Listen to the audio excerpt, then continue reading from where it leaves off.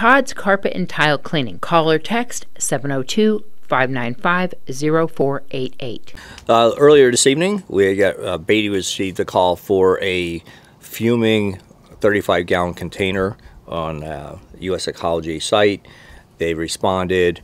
U.S. Ecology took care of the incident. There was no injuries and there was no actions taken by the Beatty Fire and EMS department, and they were returned to quarters in short fashion.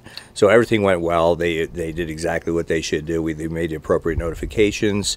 Uh, I spoke directly with uh, state DEM and the state fire marshal's office, and so overall it was managed. It was just a, a fuming event, so there was actually no ignition, no extension to any structures or any other risks.